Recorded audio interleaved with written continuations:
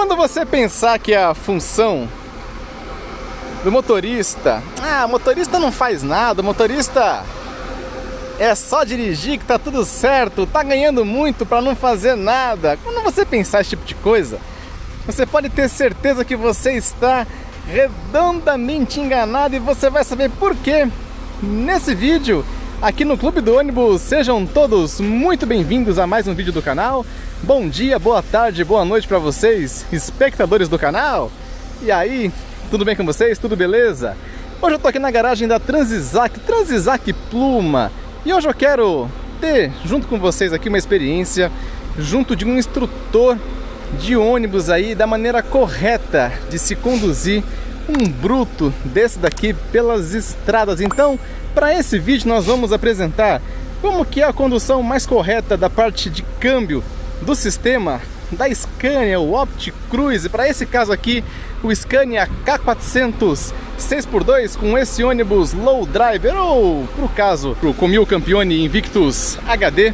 Então vou entrar aqui na cabine do motorista, conversar com o Ciro, o Ciro que é instrutor da Transisac, está aqui em São Paulo fazendo o trabalho dele. A gente estava aqui batendo um papo, conversando, ele estava me explicando aqui as funções de painel da Scania, o quanto de recurso que tem, o que, que se pode aproveitar, o que, que se consegue otimizar em cada tipo de função à disposição da parte mecânica aqui do chassi da Scania. Ciro, é com você agora, cara, vamos lá. Opa, ok, vamos lá. Primeiro boa tarde a todos, né?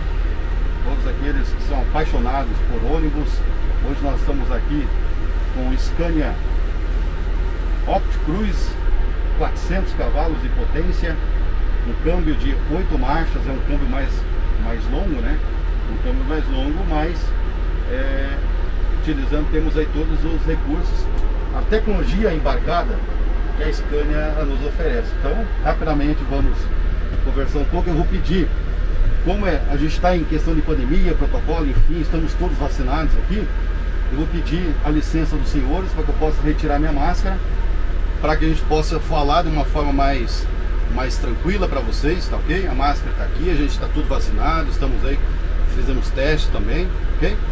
Então, senhores, aqui nós temos aqui um, um, um, painel fantástico onde, onde você tem uma visão muito ampla de tudo o que acontece com esse carro aqui. Esse carro ele tá, esse esse chassi aqui ele está encarroçado na carroceria Comil. Então nós temos aqui é, todas as funções aqui de todos os botões aqui no teu comando, tanto do, do chassi que nós temos aqui na parte esquerda, né? Nós temos aqui o botão, este botão aqui de suspensão e alinhamento do lado do truque, né? no qual acionamos, tá? Todas as funções aqui na mão. Então, na verdade, esse alívio do truque é para manobra ali mais curtinha, mais daquele jeito você tem que dar um alívio, e... senão ele arrasta o pneu ah, lá atrás, não é isso? E daí toda empresa a gente procura economia, né? Então, então é... a questão de economia em pneus, precisamos é, fazer isso aí. Tanto dentro de pátio, como nós estamos agora, como entrada e saída de rodoviárias, é, entradas e saídas de, de esquinas mais apertadas, sempre o alívio do truque e também uma questão importante também, por ser é, a questão de desnivelamento de, de, de nível, piso, enfim, rodovia, todo esse tipo de coisa, temos o acionamento, que é este botão aqui, de, da suspensão, que é uma suspensão ativa, ela é eletrônica, ela é comandada eletronicamente, então ela é ativa, ela sobe.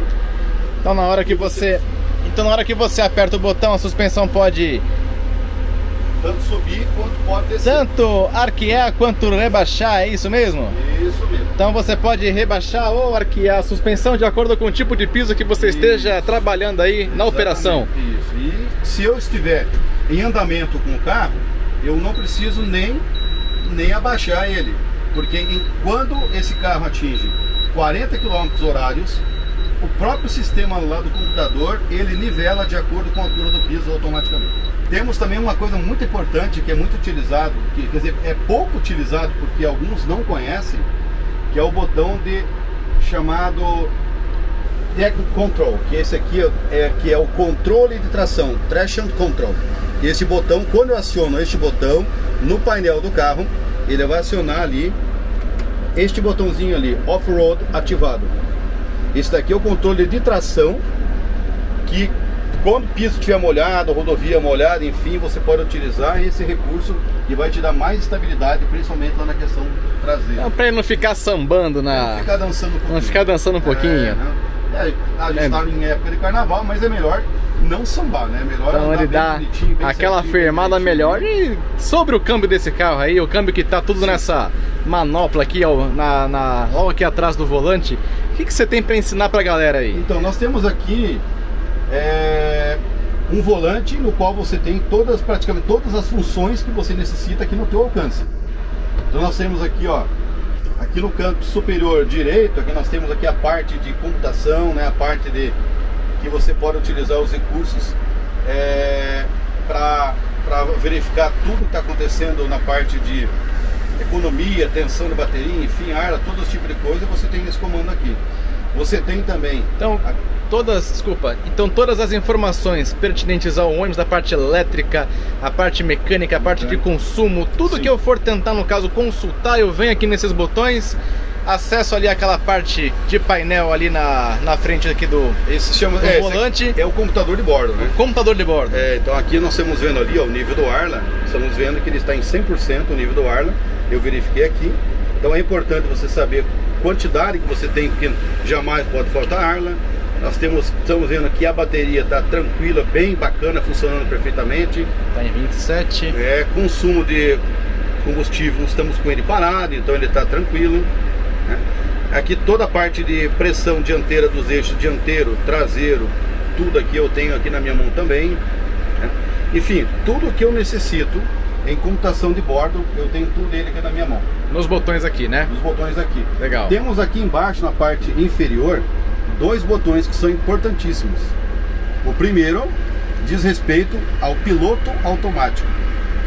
Eu posso utilizar o piloto automático, não quer dizer o piloto automático é para dirigir o ônibus sozinho, ele não faz isso. Não, é. Precisa do condutor. Apenas a aceleração. Seria mais uma aceleração automática para descanso É o controle de cruzeiro então, né? controle de cruzeiro, velocidade do cruzeiro, que o, que o condutor ele pode, ele pode colocar a velocidade com, de acordo compatível com a via e com a velocidade que ele, que ele quiser, ele, ele coloca ali e o ônibus vai acelerar nessa, nessa, lá, lá nessa velocidade. Não dá aquele descanso pra perna, não descanso para um joelho, pra ficar aí às vezes um trecho aí de mais de 300, 400 km e tal. Às vezes o cara precisa desse esse descanso se ele estiver vendo ali no caso uma reta muito longa, coloca aqui no controle de cruzeiro e um abraço. Olha lá, como nós temos uma velocidade hoje, o código de trânsito nos permite 90 km por hora, ele pode colocar ali 90 km por hora e o carro vai acelerar sozinho, tanto quanto também ao no direito nós temos aqui, né, até mostrando o ônibusinho para baixo, isso quer dizer que ele tem também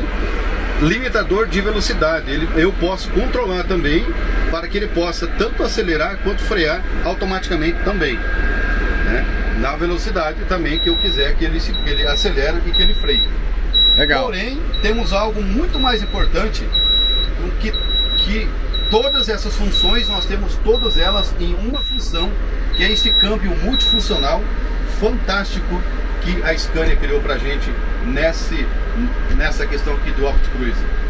E nós temos aqui nessa, nessa seta funcional, funciona tudo que eu preciso, eu tenho nas mãos aqui. Tudo, sem ter que tirar as mãos do volante, porque é importante a condução na direção defensiva que o condutor possa estar o tempo todo com as duas mãos no volante. Sempre com as duas mãos no volante, por questão de segurança, né? por questão de estabilidade, lá do veículo. Eu posso utilizar ele de uma questão com as setas, né? Que chama, a gente chama lá do lado de borboleta, eu posso controlar a parte do automático, a parte do automático do manual, utilizando apenas a seta. Temos agora na função automática, no sistema econômico, nós temos três tipos lá de, lá de sistemas aqui. O sistema de economia, Então A, E é o automático econômico. automático econômico para você utilizar ele em cruzeiro, geralmente mais, é, mais utilizado em uma linha reta, quando está numa linha reta. Se eu estou em descida, seria mais interessante, mais interessante eu utilizar o sistema A apenas, que ele me mostra lá, porque após uma descida, eu vou ter uma subida. E se eu utilizar o terceiro sistema, que é o sistema AP, que seria de potência, ele me mostra um ônibus em subida. Esse carro vai me dar um pouco mais de torque na subida para que eu possa subir um pouco melhor com ele lá no sistema de potência. E depois, nivelando em linha reta, eu volto novamente para o sistema de economia e assim utilizando essas formas. Isso aí dessa forma, mais essa forma é mais recomendado para você utilizar esse carro em cidade. Em cidade, em pedágio, enfim. Porque esse tipo lá de carro, é, lá na rodoviária, por questão de economia, é mais interessante e indicada que você utilize o sistema em que você, condutor, possa controlar o carro. Então, só para o pessoal entender. Manopla do câmbio da Scania, manopla do câmbio OptiCruise da Scania com 8 velocidades. Na versão automática, na versão automatizada nesse caso, ele te dá três opções, tá lá, ó. O modo AE, que é o modo automatizado econômico, o modo automatizado tradicional e o modo automatizado P, que é o de potência. Então, potência automatizado tradicional ou automatizado econômico. Então, para cada tipo de aplicação de trecho, de nível que você esteja andando, é mais aconselhável ou um ou outro. Então, só para o pessoal conseguir entender aqui na prática, eu estou ali numa pista reta, não vejo nenhuma subida pela frente. Coloco no modo econômico, no AE, tá Sim, tudo certo. Tudo certo. Vou Vou fazer um declive. Coloco no modo A. No A. No A, beleza. Vou fazer uma subida. Eu necessito de uma potência um pouco maior do motor no modo AP, que é o modo de potência, é isso? Correto, exatamente. E aí, fora o modo automatizado, o que, que ainda talvez seria mais indicado aí para que a gente pudesse ter um controle absoluto sobre a máquina? O que você pode me falar ah, sobre isso daí? Sim. Primeiro, com uma coisa muito importante, que é na questão de frenagem. Então hoje nós temos aí os carros, toda essa tecnologia embarcada, ela teria que vir com alguns acessórios a mais para nós. Principalmente lá na, lá na questão de frenagem e freio, que é uma questão de maior segurança. Andar, a máquina anda, mas a gente tem que parar. E parar o quê? Com segurança, com tranquilidade, porque nós, nós temos que, o nosso passageiro que está aqui, as vidas que nós transportamos que são mais importantes, a questão lá da segurança, a questão da frenagem.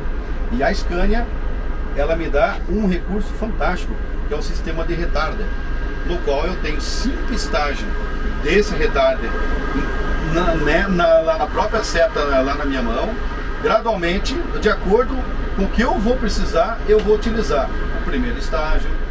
Se de repente eu, ve, eu vejo que o primeiro estágio não tem condições, eu vou utilizar o segundo estágio, o terceiro, até o quinto estágio. E gradualmente, gradualmente, sempre gradualmente, porque nunca de uma forma de uma vez apenas que eu vou estourar tudo o rolamento, o sistema lá e vou né? Então não posso, eu tenho que utilizar gradualmente isso daí. Agora, talvez para quem não conheça, às vezes fala assim, pô, mas eu não entendi nada, porque eu penso que para mim quando vai frear o ônibus é como se fosse um carro de passeio, que eu Sim. utilizo o, o pedal tradicional. A diferença tradicional. é para o ônibus nós temos no caso as duas opções: o freio de serviço das rodas, o freio tradicional de lona, aquele freio que você já está acostumado no seu carro de passeio, mas nós também temos o freio retarder auxiliar que fica associado à caixa de câmbio do ônibus, onde você consegue fazer uma redução de velocidade através do sistema. Então na hora que você puxa aqui essa manopla, ele começa a te dar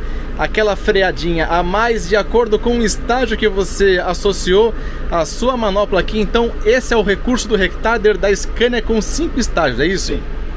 Só que além disso tudo, nós temos algo muito mais importante e muito mais interessante que a própria Scania nos dá, que é um recurso que você pode utilizar onde eu, o condutor, né, eu, eu posso controlar o veículo, porque o veículo ele, ele não sabe a, qual a, a, quantidade de peso que eu tô, a quantidade de passageiros que eu tô, passageiros, peso, malas. Traduzindo, a inteligência artificial não é assim tão inteligente, é isso? Não, não é tão inteligente. Então, é o computador de bordo, o modo automático, o modo automatizado, ele funciona, mas ele não consegue otimizar 100% uma operação de um, de um, ônibus desse daqui no trecho, então, é isso? É isso aí. Então, é isso o que, que você pode ensinar pro, pro pessoal aí, para o pessoal poder talvez trabalhar com um carro desse daqui no trecho de forma mais econômica, mais eficiente? Olha, é indicado, é indicado você utilizar o recurso que você tem neste carro em rodovia no sistema manual, aonde você vai controlar o carro. Você está vendo, você está, você está com a tua atenção, com a sua previsão e você tem que tomar a sua decisão. Em cada momento, cada segundo, você tem que tomar decisões.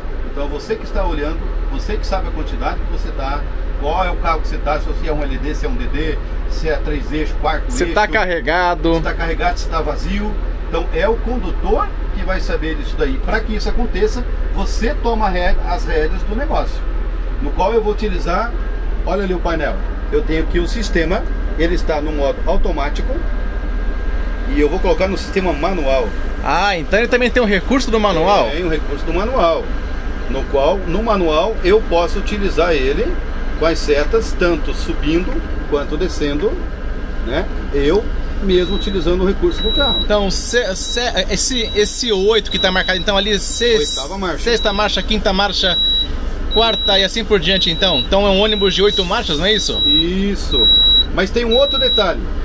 Só para o pessoal entender, então eu tenho o manual econômico, da mesma forma que tem no caso no, no automático, também tem no manual. Tem. Olha lá, manual tradicional, manual de potência, de potência e o manual de economia. Isso. E aí, qual que é o segredinho aí para o pessoal poder se dar bem no trecho, poder chegar na garagem com aquela média bonita pro bola. patrão ficar orgulhoso, hein? Patrão ficar e dar um joinha Ficar feliz da vida. Qual que é o segredo aí? O segredo é ele utilizar no sistema manual de potência. Manual potência? Manual potência. Mas no manual potência não gasta mais? Teoricamente, se ele estiver no sistema automático, ele vai gastar mais. Certo. Porque ele vai jogar mais potência. Certo. Mas se eu colocar no sistema manual, no qual eu controlo o giro, porque eu tenho que trabalhar dentro do sistema de torque. Dentro da faixa verde ali. Dentro da faixa verde, eu vou poder controlar esse carro. Então, eu controlando esse carro, o condutor, o motorista controlando esse carro, ele vai poder entender e saber no momento que ele precisar da marcha que ele precisar, ele vai utilizar ele vai utilizar da forma correta, sempre dentro da faixa verde, faixa de torque, faixa de consumo e faixa de economia. Então, ele... para você ter uma ideia, nós fizemos um teste com outro instrutor, com esse mesmo veículo, e nós estamos aqui agora na linha do Rio de Janeiro, Uruguaiana, onde nós atravessamos cinco estados, Rio, São Paulo, Paraná, Santa Catarina e Rio Grande do Sul, terminando em Uruguaiana, no qual os motoristas estavam utilizando de uma, de uma forma não correta a, a operação desse carro, mas no sistema automático de potência, e esse carro estava fazendo uma média, no máximo uma média de 3 km, de 3 km por litro. 3. E aí colocamos na. Utilizando no sistema do manual de potência. Colocamos o manual potência para quanto foi essa média? 3.8. Para quem pensa que 3 já, mas poxa vida, de 3 para 3.8 é pouquinha coisa. Uma operação de um ônibus que roda 1.000, 1.500, 2.000 quilômetros, qualquer décimo a mais ou a menos no consumo faz muita diferença, ó, pro bolso de quem vai gerir a frota não é fácil, inclusive se você pensa que é só sentar no, na cadeira aqui do chofer, acelerar o bruto aqui e pensar que tá tudo certo, ou pro pessoal que pensa que, ah, mas motorista ganha demais e não faz nada, não precisa se preocupar com nada. Não é bem assim, vocês viram o tanto de detalhes que a gente tem, isso porque a gente nem explanou todos os recursos possíveis a bordo aqui desse ônibus aqui na condução do motorista Ciro que mais que tem aí para a galera poder conhecer em termos de economia? Olha, tem mais uma questão de economia muito importante que é a economia de lonas, economia de freio. Não só economia de óleo, mas freio e pneu. Pneu. Hoje nós temos um problema muito sério com as empresas. A questão do óleo em primeiro lugar e a questão dos pneus e a questão da manutenção dos freios, né? Porque você utiliza muito freio em rodovia. E a Scania vem com algo fantástico, que é o sistema do retarder automático. O retarder automático, eu tenho um botãozinho aqui, sem utilizar o, aqui o sistema manual do retarder nos cinco estágios, eu não preciso utilizar. A Scania me dá o sistema automático, que é este botão aqui. Então é esse botãozinho manual, aqui, né? sistema automático. E quando eu estiver necessitando do freio do carro, eu simplesmente coloco o pé no meu freio, no freio lá de serviço por 3 segundos, tiro o pé e o próprio computador vai frear, o próprio carro vai frear o carro sozinho, gradualmente da forma que ele precisa frear, gerando então economia de pneu e economia também de lonas também. Então você tem um recurso tanto o manual com alavanca quanto de forma robotizada aqui através desse botão. Então eu indico para o sistema através do pedal 3 segundos, ó, tá aqui, ó, 3 segundinhos aqui pressionado e ele já faz a gestão dessa parte aqui de frenagem auxiliar de forma automática, então é isso? Isso, e também de uma outra forma também, que o pulo, existe o pulo do gato, viu? É, qual, que é, qual que é o pulo do gato? O pulo, tem, tem, tem o pulo do gato. Vamos imaginar que nós estamos numa rodovia, vamos lá, vamos colocar aqui na oitava marcha. Oitava marcha. Estamos na oitava marcha a 90 km por hora. Certo. E nós estamos vendo que na nossa frente tem uma descida, tem um, tem um, um, um, um declive. Um declive longo. Um declive longo. Beleza. Um declive longo. Ok. E eu estou com ele aqui e eu vou aproveitar a inércia do carro, porque o que, o que, que gera uma economia no óleo? A inércia do veículo. É você poder, quanto mais tempo você utilizar a inércia do veículo, do carro, sem precisar acelerar o veículo, você está gerando economia. Exatamente. Então, então o que, que você consegue fazer com isso daí? Sendo que você tem um limite de velocidade de 90 km por hora. Você utilizar o recurso do sistema automático, travando ele em 90 km por hora, retirando o pé do freio, reduzindo esta marcha para a sexta marcha, ele vai subir o giro em 2000 e no sistema azul vai gerar o maior sistema de economia e maior sistema de frenagem, segurança de frenagem desse veículo do Scania. E também fazendo a refrigeração do retardo, a refrigeração de todo o do sistema. sistema. Então para o pessoal que é mais leigo, o pessoal fala, o Ciro falou aqui assim, ah, mas eu quero aproveitar então a inércia aí, para quem talvez seja mais leigo, aproveitar o embalo do ônibus, o ônibus está embalado, vai descer. Ao invés de eu ficar acelerando, então ao invés de eu ficar aqui fazendo o acionamento do freio de serviço, eu trabalho com ele de forma automatizada, jogo duas marchas para trás, aumento o giro do motor, ele não vai consumir mais, ele vai me dar no caso um freio de segurança a partir da rotação do motor e vai ficar tudo certo com relação à economia, com relação a tudo, então, é isso? É, é isso mesmo. Então, para quem aí, mais uma vez, hein, pensou na vida que, ah, mas o motorista ganha muito, não faz nada, então, puxa vida, será que eu tô ganhando compatível com tudo que eu sei aqui a bordo desse veículo aqui? Deixem aí o comentário de vocês, Ciro. Obrigado. Imagina, Show de bola. Prazer. Foi uma senhora aula aqui pro pessoal. Tenho certeza que a galera vai conseguir entender bem. Uma pena que nós não, não, não tenhamos aqui à disposição um outro ônibus, talvez um Mercedes-Benz, ou então, se for o caso, um Volvo. Mas pro pessoal aí que gosta, que é do trecho, que trabalha com Scania, pelo menos assim na marca Scania, deu para entender direitinho tudo que precisa fazer para se gerar talvez uma economia maior no dia a dia da operação. Mais uma vez, Ciro, alguma coisa para finalizar? Não, aguarde que em breve teremos aí o Mercedes, teremos o Volvo e de repente um test drive na estrada aí para vocês verem como que funciona essa máquina na estrada, toda essa questão da teoria na prática daí. Aguardem os próximos vídeos do Clube do Ônibus, que beleza! Então, se você pensou que a vida do motorista é fácil, ah, hoje em dia então tá mais fácil ainda, é só dirigir, é só acelerar, não precisa fazer nada tem ar-condicionado, é tudo automatizado, tudo certo, tá tudo fácil, olha aqui, ó. Não, Nanina, não, o cara tem quase que fazer uma pós-graduação, um mestrado aqui na função dele de motorista para conseguir entender como que, como que funciona o sistema e como que ele pode otimizar cada vez mais o dia a dia na operação desse veículo. Se você viu esse vídeo aqui até agora, hein, e você ainda não é inscrito no canal, aproveita aí e se inscreve no canal. Se você já é inscrito, mais uma vez, muito, muito obrigado por sua companhia. Eu te espero no próximo, hein? Valeu! Um abraço a todos e até o próximo!